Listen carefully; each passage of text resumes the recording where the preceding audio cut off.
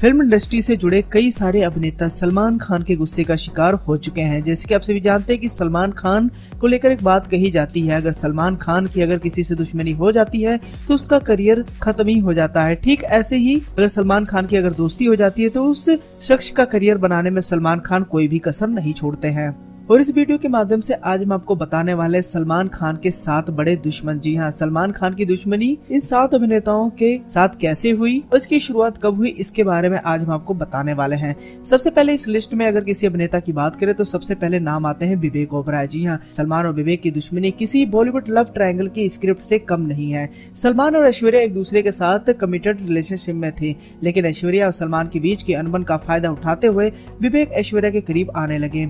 ऐश्वर्या और विवेक की बढ़ती नजदीकियाँ सलमान को रास नहीं आई और उन्होंने विवेक को कई बार ऐश्वर्या से न सिर्फ़ दूर रहने के लिए धमकाया, बल्कि विवेक का फिल्मी करियर भी तबाह कर दिया। आज विवेक ओबराय बॉलीवुड की बहुत ही कम फ़िल्मों में देखे जाते हैं। इसी के साथ ही दूसरे बड़े अभिनेता की बात करें तो जॉन इब्राहन का भी नाम इस लिस्ट में आता है। जानकारी के मुताबिक बताना चाहेंगे, जॉन इब्राहन साल दो हज़ार छः में सलमान के साथ अनबन की खबरें सुनने को मिली थी। कहा जा रहा था कि जॉन अब्राहन ने पेमेंट के इशू को लेकर एक शो करने से इनकार कर दिया था। जो सलमान खान को बिल्कुल भी रास नहीं आया। हालाँकि इसके बाद इन दोनों सुपरस्टारों ने एक दूसरे से बातचीत भी नहीं की थी।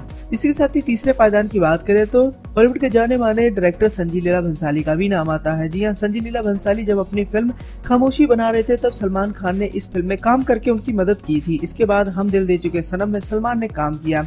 इतने ने उन्होंने रणबीर और सोनम को लॉन्च करने के लिए सांवरिया में कैमियो रोल करके संजय लीला भंसाली की मदद की। लेकिन दोनों की इस दोस्ती में दुश्मनी की दीवार तब खड़ी हुई जब सलमान ने संजय लीला भंसाली को द प्रेस्टीज नाम की एक डीवीडी दी क्योंकि दोनों ने इस फ़िल्म का रीमेक प्लान कर रहे थे। लेकिन जब इसके रीमेक गुजारिश फ़िल्म के लिए संजय लीला भंसाली ने ऋतिक को अप्रोच किया, तब सलमान खान ने खुद को ठगा हुआ महसूस किया और तभी से भंसाली बन गए सलमान के दुश्मन। हालाँकि कई सालों बाद संजय लीला भंसाली और सलमान खान के साथ आने की खबरें आई थी, इंशाल्लाह के ज़रिए, लेकिन यह फ़िल्म बनते बनते रह गई।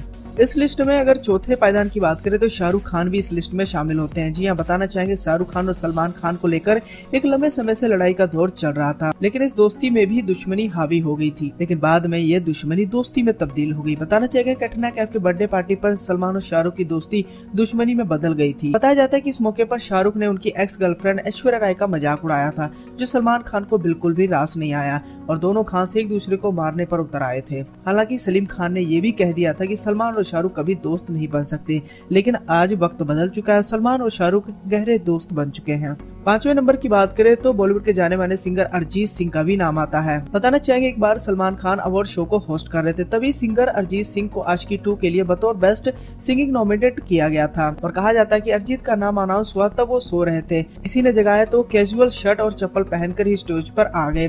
सलमान को अरिजीत का ये रवैया बिल्कुल भी पसंद नहीं आया और जब सलमान ने उनसे पूछा कि आप सो रहे थे तो अरिजीत ने जवाब दिया कि आप लोगों ने सुला दिया। बस इतना ही था कि सलमान खान ने सुल्तान फ़िल्म से अरिजीत का गाना भी हटवा दिया। सलमान खान के गुस्से का शिकार हुए अरिजीत जिनका करियर भी काफ़ी ज़्यादा डगमगा चुका है। इसी के साथ ही छठे नंबर की बात करें तो रणबीर कपूर भी सलमान खान के गुस्से का शिकार हो चुके हैं। बताना चाहेंगे रणबीर कपूर और सलमान खान के बीच एक लंबे समय से कॉर्ड वॉल चल रहा है। दोनों की दुश्मनी की वजह कैटरीना कैफ को माना जाता है। कैटरीना पहले सलमान खान की गर्लफ्रेंड हुआ करती थी, लेकिन रणबीर ने कैटरीना को सलमान से चुरा लिया, जिसकी वजह से इन दोनों अभिनेताओं के बीच दुश्मनी पैदा हो गई है। सातवें और आखिरी अभिनेता की बात करें, ऋषि कपूर भी इस लिस्ट में शामिल हैं। बताना चाहेंगे सोनू कपूर के वेडिंग पार्टी में सलमान खान की भाभी के साथ ऋषि कपूर ने झगड़ा कर लिया था, जो बात सलमान खान को बिल्कुल भी रास नहीं आई। सोहेल खान की पत्नी को ऋषि कपूर ने सलमान खान के बारे में कुछ कह दिया था, और इसी को लेकर सलमान खान का गुस्सा ऋषि कपूर के ऊपर देखने को मिल रहा है। हालाँकि जब पार्टी में सलमान खान आए तो उन्होंने ऋषि कपूर की तरफ़ बिल्कुल भी नहीं देखा। तो दोस्तों, ये थे सलमान खान के साथ बड़े दुश्मन। उम्मीद है आपको वीडियो पसंद आई होगी। अगर पसंद आई तो लाइक शेयर कमेंट करें। साथ ही हमारे चैनल को भी सब्सक्राइब करें।